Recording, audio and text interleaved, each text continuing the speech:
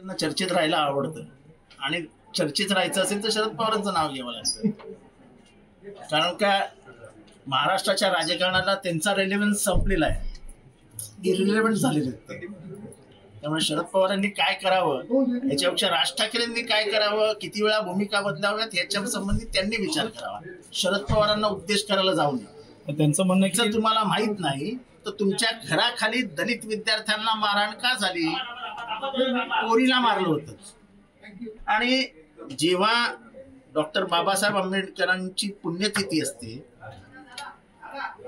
सहा डिसेंबरला तेव्हा तेव्हा तुमचा बंगला सोडून तुम्ही चार दिवस लोणावळ्याला जाऊन का राहता?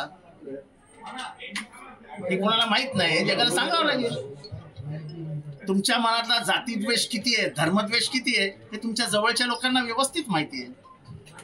तेव्हा राज ठाकरेंनी निदान जातीपातीच्या राजकारणाबद्दल बोलू नये. त्यांनी परप्रांतीयाची देखील भूमिका मोठी त्यांनी. परप्रांतीयांविरुद्ध भूमिका घेतली त्यांनी मुसलमानांविरुद्ध भूमिका घेतली त्यांनी दलितांविरुद्ध भूमिका घेतली. अशा माणसाने जातीपातीबद्दल बोलावं आणि ते पण शरद पवारांबद्दल. हास्यास्पद आहे पण त्यांना हास्य विनोद करण्याची सवय.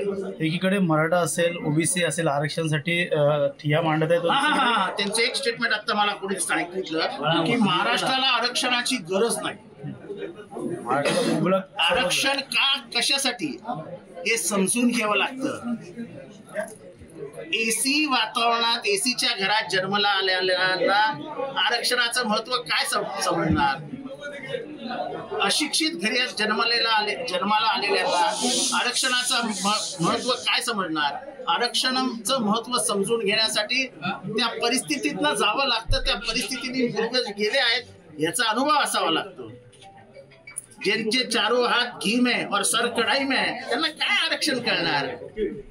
आरक्षण करण्यासाठी महाराष्ट्राचा सामाजिक सामंजस्य समाज कसा आहे? रामा महाराष्ट्राची सामाजिक परिस्थिती कशी आहे ही समजून घ्यावी लागते. आणि म्हणून तर आम्ही म्हणतो एकदा होऊन जाऊ ना जातीनुसार जनसंख्या होऊन जाऊन द्या. म्हणजे बहुजन समाज किती आहे ते महाराष्ट्राला कळेल. आणि बहुजनांची आर्थिकची आर्थिक परिस्थिती कशी आहे हेही कळेल. आणि म्हणून तर आम्ही म्हणतो की दुर्बल आर्थिक दृष्ट्या दुर्बल असलेल्या मराठ्यांना आरक्षण मिळालंच पाहिजे. ही आमची भूमिका आहे. शरद पवारांची नेहमीच कुठल्या कुठल्या समाजाशी काम काम समाजाबद्दल काम केलंय हे मी आता या क्षणाला सांगण्याची गरज नाही. त्या त्या समाजाला व्यवस्थित माहिती आहे की शरद पवारांनी आपल्यासाठी काय केलंय.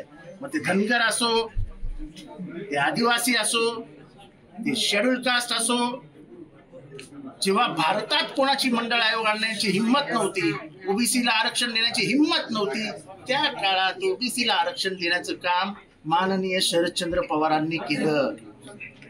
आणि आजही जेव्हा सत्ता जाईल तुमची असं सांगून सुद्धा डॉक्टर बाबासाहेब आंबेडकरांचं नाव मराठा विद्यापीठाला दिलं. महिला आरक्षण आणलं. ओबीसीचं आरक्षण आणलं. त्यांनी कृपया कोणीही आम्हाला साहेब जातीपातीचं राजकारण करतात वगैरे सांगू नये. आपल्या घरातल्या गप्पा गोष्टींमध्ये कार्यकर्त्यांना खुश करण्यासाठी बोला